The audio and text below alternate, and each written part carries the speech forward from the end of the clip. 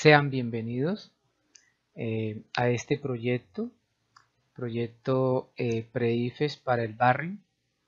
En esta ocasión eh, vamos a analizar eh, una pregunta tipo prueba saber 11 de la asignatura Ciencias Naturales, específicamente de Química.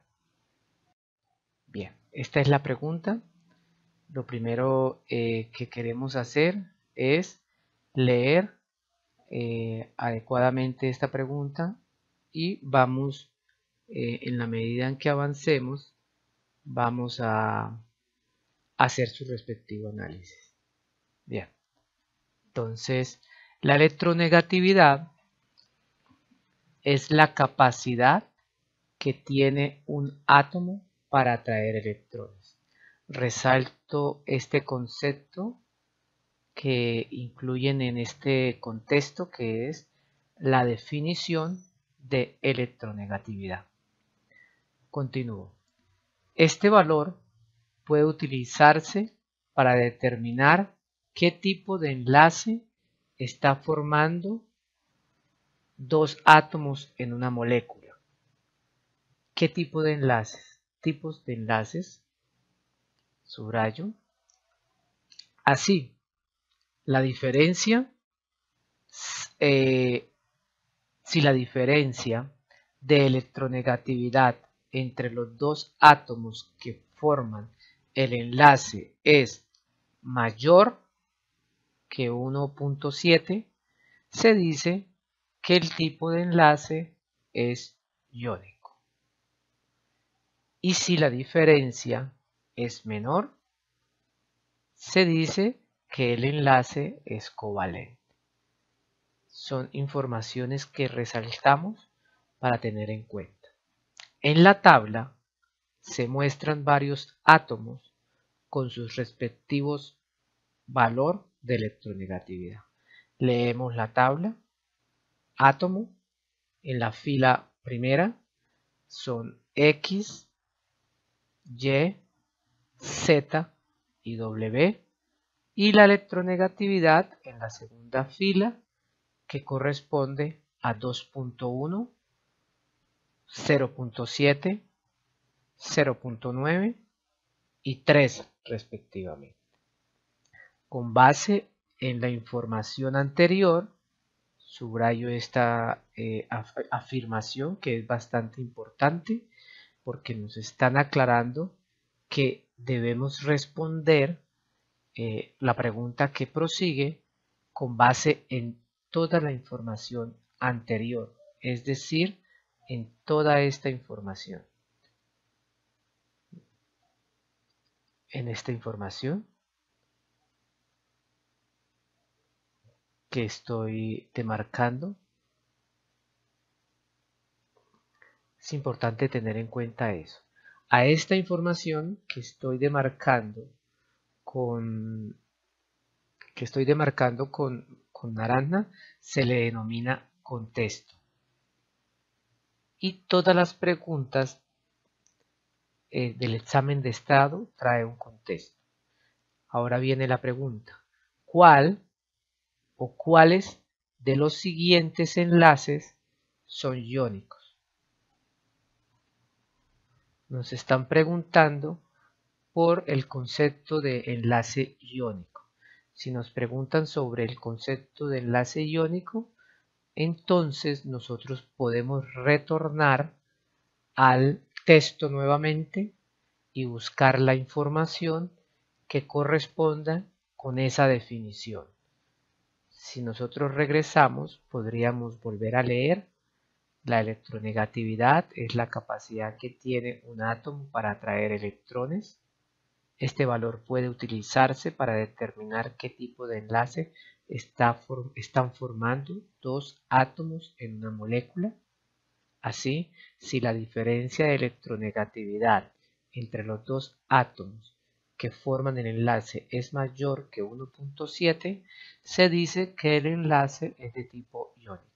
Aquí está la, definición del tipo de enlace y es importante eh, retomar A partir de la pregunta, que, lo, que es a la que se nos refiere al enlace iónico, retomamos la definición eh, para clasificar estos tipos de enlace. Si, de acuerdo con el mismo texto, la electronegatividad es mayor a 1.7, entonces ese, eh, la diferencia de electronegatividad es mayor que 1.7, entonces ese enlace se puede considerar como enlace iónico. Si, es, si no es mayor que 1.7, sino menor, entonces es enlace covalente. Por tanto, eh, procedemos a determinar la diferencia de electronegatividad entre estos pares de átomos que están enlazados entre sí. ¿Por qué debemos determinar esa diferencia? Porque el mismo contexto nos está diciendo que para saber si es iónico o covalente debemos eh, calcular esa diferencia de electronegatividad. Entonces, eh, con base en la tabla, vamos a determinar la diferencia de electronegatividad entre Z y W. Z es 0.9 y W es 3.0. Los da con el dato de la tabla. Observe. Z y W. Esa diferencia es, eh, lo tomo como un valor positivo, en realidad como lo he escrito sería equivalente a menos 2.1, pero eh, lo tomo como una diferencia como valor absoluto, valor positivo, que sería 2.1. 2.1. Ojo, la diferencia es 2.1 es mayor que 1.7. Por tanto, podemos decir que este enlace entre Z y W es un enlace iónico.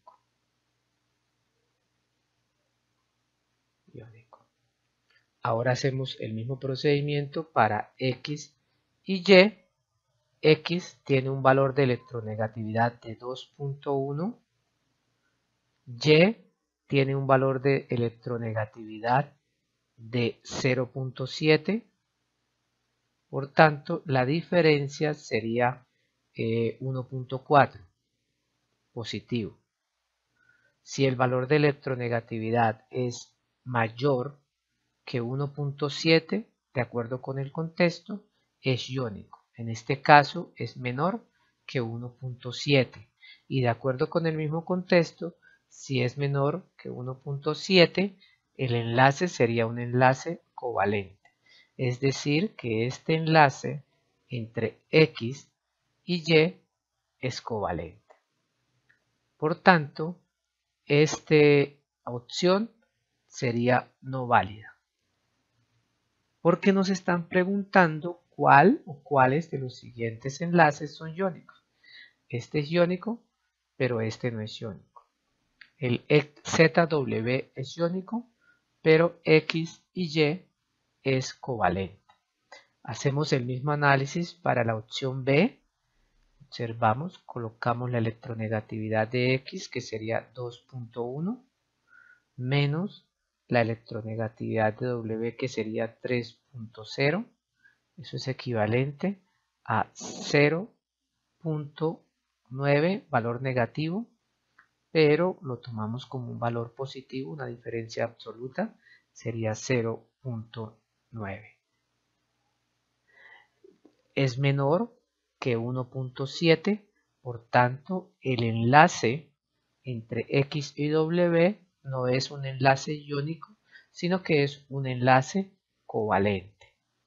Por tanto, si es covalente, esta no es una opción correcta. Vamos con la opción C. Hacemos el mismo análisis.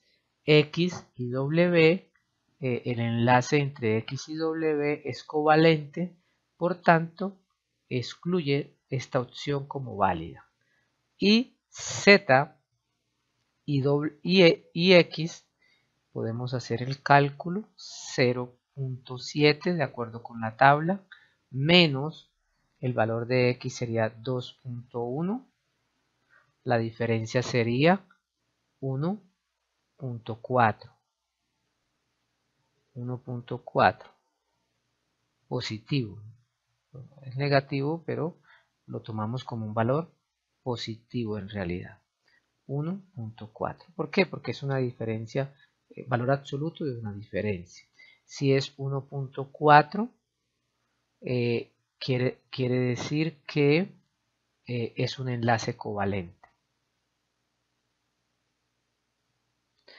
aquí estaríamos, aquí también es 1.4, C, entre X y W. E, y en el tercer caso, déjame revisar, Z, ah, disculpe, Z es 0.9, corrijo, Z 0.9, por tanto es 1, la diferencia es 1.1.2. Eh, sigue siendo un enlace covalente. Y en el caso de D, eh, tenemos una diferencia de electronegatividad que ya lo habíamos hecho aquí en la opción A, 0.9 Z menos 3.0, eh, una diferencia de electronegatividad de 2.1. Por tanto, si la diferencia de electronegatividad entre Z y W 2.1 quiere decir que esta es la única opción válida, que es un enlace iónico, iónico. Y esta sería la opción cierta. Bien, eh, como conclusión, eh, queremos que ustedes perciban que toda la información que nosotros hemos usado eh, para resolver este ítem se encuentra en el contexto. Eh, ¿Qué hemos, eh, actividad adicional hemos hecho?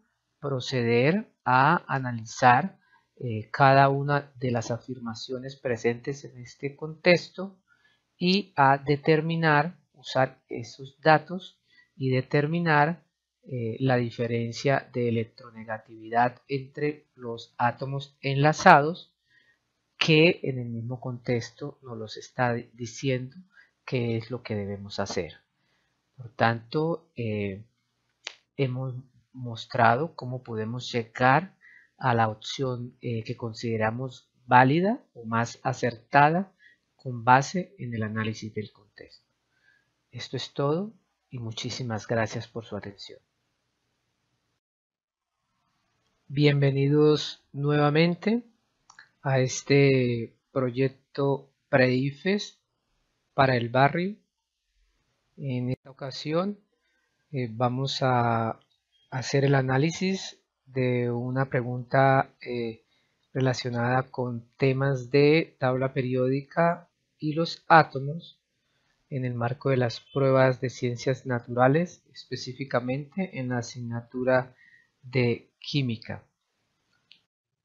Bueno, vamos a proceder a leer eh, esta pregunta y hacer su análisis respectivo. Entonces, decimos que eh, tenemos la primera energía de ionización es la mínima cantidad de energía que se requiere para remover el electrón atraído con menor fuerza a un átomo gaseoso para formar un ion con carga más 1. Es necesario eh, resaltar que el examen de estado, la prueba, no está demandando, en este caso, del estudiante que recuerde o memorice eh, la definición de energía de ionización, sino que la ofrece como parte del contexto para que el estudiante eh, la lea la analice y con base en esa misma definición pueda eh, extraer algunas conclusiones e inferencias para resolver la situación problema que se le plantea en el mismo ítem. Vamos a, leer con detalle esta definición para hacer su respectivo análisis. Decimos que eh, la primera energía de ionización, ojo, dice la primera energía de ionización, es necesario decir que al, decir, al plantear el concepto, la palabra eh, primera energía de ionización supone que hay una segunda u una tercera energía de ionización. Entonces la primera energía de ionización es la mínima cantidad de energía, ojo, la mínima cantidad de energía podemos inferir que la segunda o tercera posible energía de ionización va a tener energías superiores a esta mínima. Es, se puede eh, inferir del texto. Entonces es la mínima cantidad de energía que se requiere para remover el electrón atraído con mayor fuerza también implica que la posible eh, segunda energía de ionización va a tener una cantidad de energía mayor que aquella primera y por tanto también va a ser atraído eh, ese, segundo electrón con mayor fuerza que aquel primero. Esto que se está afirmando eh, es posible inferir a partir del texto. Eh, sigo leyendo. De un átomo gaseoso, un átomo gaseoso eh, podría decir un átomo aislado, para formar un ion con carga más 1. Ese es el análisis eh, que es necesario resaltar en relación con la primera conceptualización que plantea la pregunta. Vamos a la segunda parte. Dice, la afinidad electrónica es, observe nuevamente que la prueba le está suministrando al estudiante el concepto de afinidad electrónica, por tanto el estudiante no necesita memorizarla, pero sí eh, hacer un análisis, un análisis detallado de la misma definición que no suministra la prueba. Continúo. Es la afinidad electrónica es la cantidad de energía absorbida. Cantidad de energía absorbida por un átomo neutro gaseoso al adquirir un electrón para formar un ion con carga menos 1. Observe que en este caso es para adquirir, asimilar un electrón. En el caso de eh, la afinidad electrónica. Y en el caso de la primera o de la energía de ionización es para remover el electrón que está atraído con menor fuerza o un electrón que está ya en, los alrededores del átomo. En cambio, la afinidad electrónica, de acuerdo con el mismo texto, es para adquirir un electrón y formar eh, un ion con carga menos 1. En el caso de la energía de ionización es para formar un ion con carga más 1. Bien, este eh, dos elementos es lo que se conoce en la pregunta como el contexto.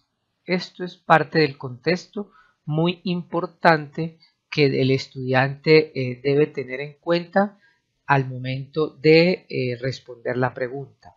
Entonces, sigamos. Con base en, de acuerdo con esta información, de acuerdo con cuál información cualquier estudiante podría preguntarse, con las dos definiciones que acabamos de leer. Entonces, de acuerdo con esta información, es válido afirmar que la energía de ionización necesaria para remover un segundo electrón y formar un ion con carga más 2 es dos puntos. Vamos nuevamente eh, a analizar eh, el enunciado. Dice, de acuerdo con esta información, ¿con cuál información? Con la que está en el contexto, fundamentalmente. Después, es válido afirmar que la energía de ionización, observe, nos preguntan sobre el primer concepto. Por tanto, eh, podemos enfatizarnos en ese en esa, eh, enunciado. Necesaria para remover un segundo electrón. Ojo, para remover un primer electrón requeriríamos la mínima cantidad de energía. Si se quisiera remover un segundo electrón, sería de con una energía mayor que aquella usada en la primera energía de ionización o en la eh, remoción del primer electrón. Eso lo estamos afirmando con base en el mismo contexto. Y eh, ese primer electrón es el electrón atraído con menor fuerza. Quiere decir que el electrón, eh, segundo electrón, va a ser atraído con mayor fuerza que el primero. Por lo menos eso es lo que nosotros podemos inferir con base en la definición de energía de ionización. Ahora sí, eh, haciendo ese análisis del texto eh, de manera rigurosa, podemos pasar a las opciones de respuesta y en este caso podemos intentar eh, eh, excluir aquellas que consideremos eh, no racionales, no coherentes. Veamos. A. Mayor. Entonces dice, formar un ion. Nuevamente es válido afirmar que la energía de ionización para remover un segundo electrón y formar un ion con carga más 2 es mayor eh, sí, eso es cierto, es mayor. Sabemos que es mayor. Por tanto, si ya sabemos que es mayor, entonces vamos a eh, excluir aquellas opciones en las que nos dice que es menor energía de ionización. Estas las excluimos por el análisis que ya hemos hecho previamente. De acuerdo con eso, solo tendríamos dos opciones eh, por ahora que son válidas, que afirman que la segunda energía de ionización es mayor que la primera energía de ionización.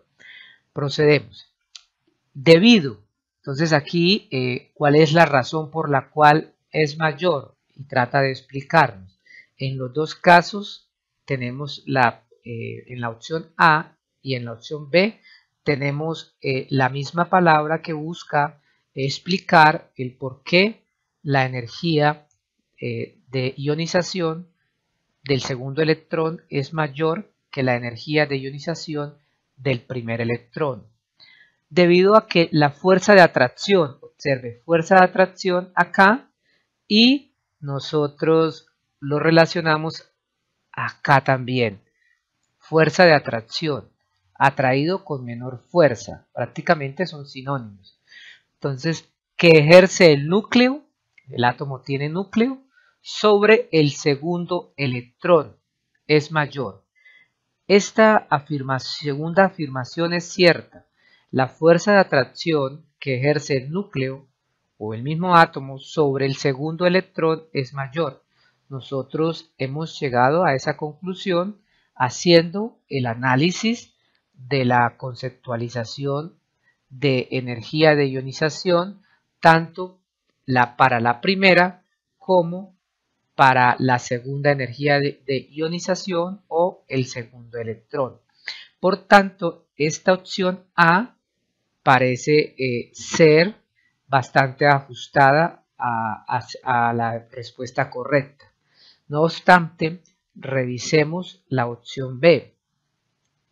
La opción B nos afirma que es debido a que el segundo electrón se encuentra en un nivel de mayor energía.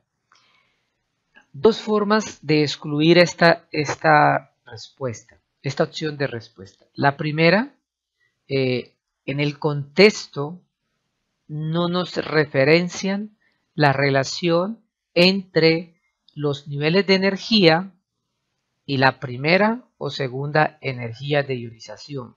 No nos ofrecen información relacionada eh, con esto.